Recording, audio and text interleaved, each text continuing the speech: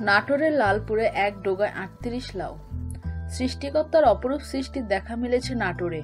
লালপুরবাসী এই সৃষ্টি দেখতে ভিড় জমাচ্ছে উপজেলার চা দোকানদার সলিমুদ্দিনের বাড়িতে। এতদিন শোনা যেত সবজি হিসেবে, সুখ্যাত লাউয়ের একটি ডোগায় একটি লাউ ধরে।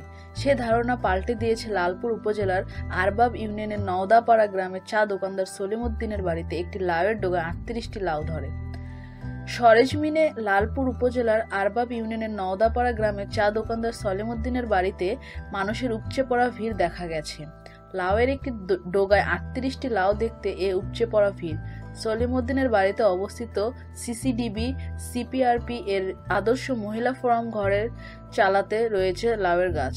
সেই লাউয়ের গাছে একটি ডোগা টিনের ভেতর দিয়ে এসে বারান্দায় পড়েছে, আর সে ডোগাতেই ধরেছে আটত্রিশটি লাউ। নিজ হাতে লাগানো লাউ গাছের একটি ডোগায় আটত্রিশটি ধরায় খুবই খুশি সলিমুদ্দিনের স্ত্রী আম্বিয়া। এ ব্যাপারে গৃহবধূ আম্বিয়া বলেন, আমি খুবই খুশি। আল্লাহ আমাকে এটা দান করেছেন।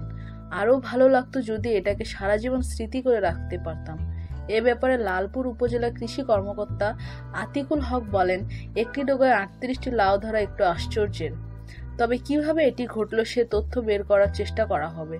নিত্য নতুন এসব খবর জানতে আমাদের সঙ্গেই থাকুন এবং সাবস্ক্রাইব করুন।